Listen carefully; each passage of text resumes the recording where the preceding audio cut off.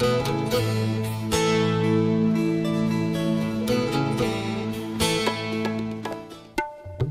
good गिलास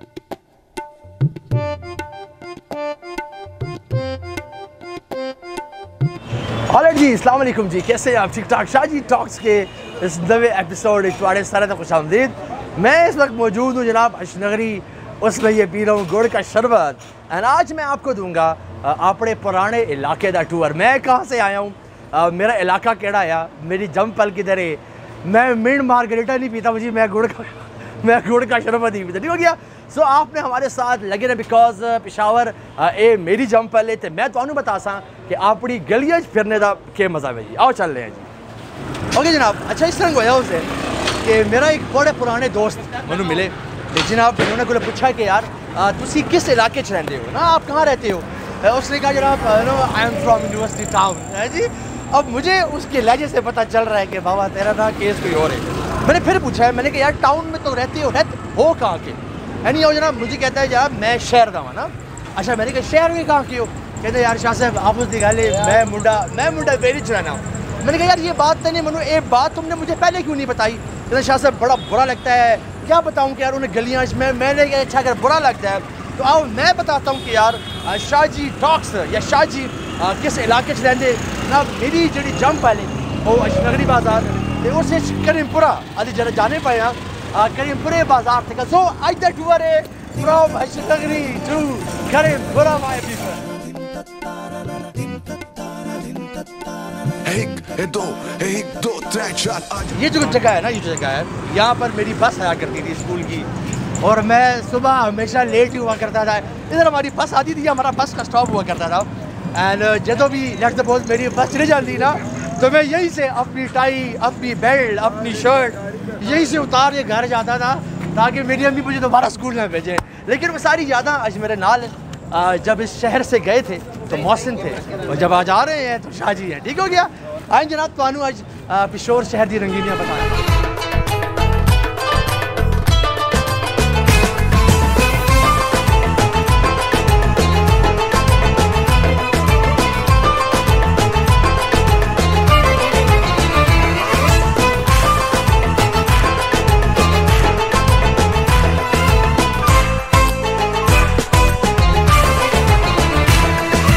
हाँ जी अपने शहर का आने का नाम मज़ा ही हो रहा है।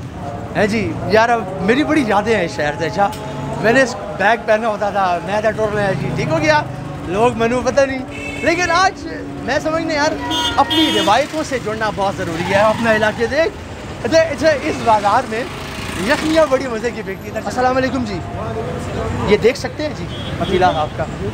ये दिखाएँ जी। अशनगरी दी मशहूर यखनी। थोड़ा सीना खराब है। तो थोड़ा सादा मसला है। ठीक हो गया? यो यखनी है जिन्हों मतलब दुनिया खुदाई पीने आती है अशनगरी की फ़ेमस तरीन यखनी है। आ, बड़ा मज़े का बाज़ार है अशनगरी बाज़ार। हुसन वाले का बाज़ार है।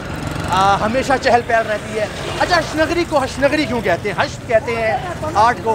वालेकुम अस्सलाम। इसमें मुझे ठीक ठाक फ़ैन फॉलोइंग शाह जी की यार ऐसी बातें नहीं होती है। दो चार लोग पछाड़ दें खाली कहाँ सूत जी बहुत है। खाली कहाँ है सुतने की बाहर, माशाल्लाह। जस्ट किडिंग यार, क्या हो गया? अच्छा अभी ऐसी चलने पे फ्रॉम झंडा बाज़ार। अच्छा ये अब अब मैं आपको बताऊँ, एक और चीज़ बड़ी मज़े की स्टोरी में, यहाँ पे सामने देसी घी का नाश्ता मिलता है। वो सामने, अगर आप दिखा पाएँ तो सामने जनाब देसी घी का नाश्ता है, अभी वो बंद है, लेकिन मेरी बचपन की यादों में से एक बड़ी खूबसूरत याद, जनाब ए इधर आ जाओ जी, आ जाओ जी, आ जाओ जी। अस्सलाम वालेकुम जी। किस रंग जी ठीक ठाक? अच्छा अक्सर शाम को मैं अपनी अम्मी को कहा, माँ जी, वो किसी ने भेजो कि यार वो मीठी टिकियाँ नहीं मिलती?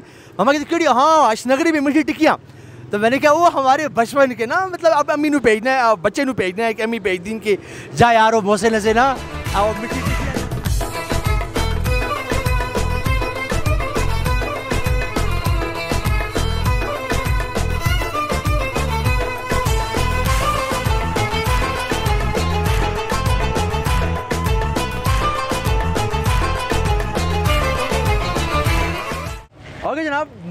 इस वक्त पहुँच गया हूँ झंडा बाज़ार है बेसिकली हम अशनगरी से चढ़े हैं और झंडा बाज़ार में ये जो जगह है, यहाँ पे मैं बैठा हूँ।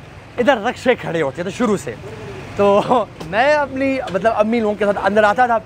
तो मुझे रक्शे के आगे बैठने का बहुत शौक होता है ना बड़ी शौक होता है मुझे आगे बैठे था तो मेरी माँ के कर दी, मनु इधरों इधरों पीछे पकड़ के कि यार मेरा पुत्र टहना पवे ना, रोहान भी बड़े ऐसी ठीक हो गया?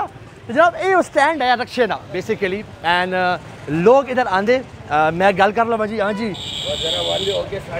मैं आना मैं आना मैं आना एक दिन भाई यार बोलते ਤੇ ਜੀ ਜਨਾਬ ਇਹ ਉਹ ਰਕਸ਼ੇ ਦਾ ਸਟੈਂਡ ਹੈ ਤੇ ਲੈਟਸ ਸਪੋਜ਼ ਹੁਣ ਅਸੀਂ ਪੇ ਐਂਟਰ ਹੋਣੇ ਆ ਜੰਡਾ ਬਾਜ਼ਾਰ ਵਿੱਚ ਤੇ ਜੰਡਾ ਬਾਜ਼ਾਰ ਦੀ ਖੂਬਸੂਰਤੀ ਤੁਹਾਨੂੰ ਦਿਖਾਣੇ ਜਨਾਬ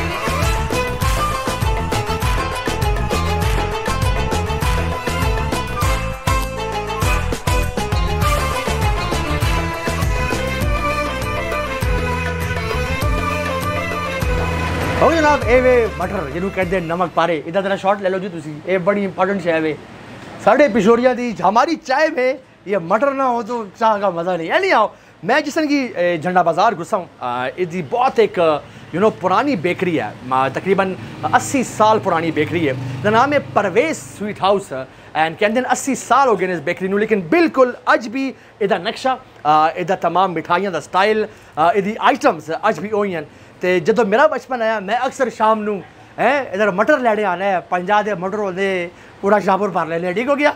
ਹੁਣ ਪੰਜਾਹ ਦਾ ਕੁਝ ਨਹੀਂ ਮਿਲਦਾ। ਲੇਕਿਨ ਜਨਾਬ ਸਾਡੇ ਕੋਲ ਹੁਣ ਬਹੁਤ ਕੁਝ ਦਿਖਾਣੇ ਵਾਸਤੇ।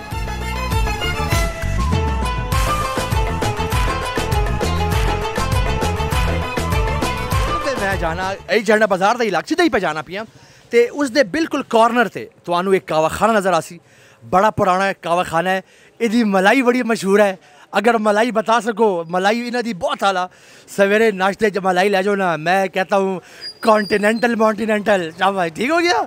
पिशोर, पिशावर की जो रोगनी और मलाई है, उसका कुछ सानी नहीं है, ठीक हो गया? तुसी बड़े भी ब्रेड जो थे मच्छी के अंडे बांधे रहो। लेकिन इसका अपना चास है। अच्छा हूँ अच्छी रवाना। एंड कपड़े का बाज़ार की तरफ़ हूँ मेरी रवानगी है। झंडा बाज़ार स्टिल इट्स गोइंग ऑन अभी ये चल रहा है झंडा बाज़ार। और अभी जिस तरफ़ हम मूव कर रहे हैं, वो करीमपुरा। करीमपुरा उस गली वाल भी जा सकें जिधर मेरी पैदाइश है हैं जी तो मनु बर्दाश्त कर रहे हैं ना बेसिकली तो पैदा तो हो रहे हैं बात दुनिया ये कर दे। तो बेसिकली इस तमाम बाज़ार कपड़े का बाज़ार है, मरदाना कपड़े का ये ना हो कि जराने आ जाओ उनके बाबा जी, मनु, क्या कहते हैं ये कहते हैं दास। मनु जाजड़ का सूट थे जाजड़ माजड़ नहीं इधर। आगे जो फीमेल बाज़ार हैं वो आगे हैं लेकिन ये पूरा मर्दा का बाज़ार है। यहाँ कपड़े हैं बहुत अच्छा कपड़ा है। और करीमपुरे में स्पेशली झंडा बाज़ार की साइड पे। अ, मैं देखता हूँ अक्सर फॉरनर्स आते हैं सेठियाँ दी मल्ला सेठियान आते हैं लेकिन ये भी पिशावर है जनाब ये भी पिशावर है। इन्हें गलियाँ भी एक खास किस्म का कल्चर तो मिल सी। हाँ जी तो जैसे मैं तुम्हें बताया कि यार ये कपड़ों का बाज़ार है झंडा बाज़ार की तरफ़ भी हम आ रहे हैं। और कपड़ों की बाज़ार है बड़ी वैरायटी है। लेकिन मेरा बचपन, जो कि बचपन मेरे का नहीं है जी तो गजनवी क्लॉथ ऑब्वियसली हाँ, मेरे बड़ा ही करीब रही है। मैं अंदर जाना तो बताना थोड़ा जहा। ठीक हो गया? हाँ जी। कौन ये दुकान है कि नहीं? आ जाओ कि आ जाओ यार। है ना? लग देना था, कारोबार मारोबार करना अच्छा इन्हें क्वालिटी बहुत बेहतरीन है बिकॉज़ जो भी वालदा, या अबू अबू स्पेशली आंदे तो मनुदरी लैके आंदे यार ईद होती थी, अबू मैंने ये लेना है। ये बताएँ कि कितने टाइम से इधर काम पे कर दे पाई और क्या पोजीशन है? तीस साल से यहाँ पर काम कर अलहमद यहाँ पर। मेरे पहले वाले से अब काम करते थे अब मैं खुद काम इनको आंधी है तो क्यों नहीं आंधी है? तो इनको कह दी जी पहले मेरे वाले से अब काम कर दे और मेरे, सारे सी महँगा जोड़ा केड़ा वे तो क्या कीमत है? महँगा जोड़ा पैंतीस सौ पच्चीस सौ हर किस्म की रेंज दे जो तुम अपने चाहिए उस किस्म की क्वालिटी कोई मेरा नाम लैके आवे डिस्काउंट है कि नहीं? कितना डिस्काउंट है? हाफ़ प्राइस से तुम मिल जैसी है। मतलब जरा पैंतीस सौ की कीमत। है अठारह सौ दो हज़ार दी नहीं बस देख लो जी थोड़ा मैंने ईद का मुका छोड़ा ठीक हो कि जलना बाज़ार है जनाब गज़ल भी क्लास ज़रूर आना बिकॉज़ इधर नल मेरी बहुत इन्होंने वाले साहब नल मेरे अबू की खासी है ना गपशप आई। और ठीक ठाक हो तुम जनाब बहुत शुक्रिया। नहीं आओ जनाब? मैंने कहा था ना जब गए थे तो मौसम थे और जब आज आए हैं तो शाहजी हैं। भाई ये फ़र्क है? अपना सफ़र तो आने आप ही शुरू करना है। अपनी पछाण तो आप ही शुरू करनी है। अच्छा जी हूँ ये बाज़ार ख़त्म हो गया। ए जनाब फेड़ियाँ तो मैंने बताया नहीं गया फेड़ियाँ बहुत ज़रूरी साड़ी चाच हैं? साड़ी चाच फेड़िया ना जी मैं तली बैठ सा मैं मैं मलंग बंदा यार। मेरी साड़ी चाच एक मटर ना होवन एक फेड़ी ना हो मैं चाय पीता ही रही ठीक हो गया? ये बताओ कितना टाइम हो गया तो जी साढ़े प्यो दादे टाइम जी सत्तर साल हो गए इस दुकान में जी।